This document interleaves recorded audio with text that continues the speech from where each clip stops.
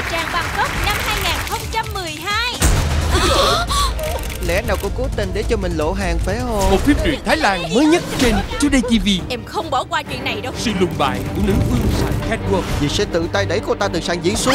Thật là đê tiện. Sự vươn lên ngoạn mục của một gương mặt trẻ. Là cháu gái của tôi Chắc chắn sẽ không làm bà thất vọng đâu Dì sẽ làm cô nổi tiếng Để cô ta sẽ héo tàn trên sàn diễn Những góc khuất hậu trường Tham vọng độc tôn Tôi sẽ lấy lại mọi thứ. Sẽ được phản ánh chân thực nhất trong Lưới tình catwalk phát sóng lúc 22 giờ hàng ngày trên Today TV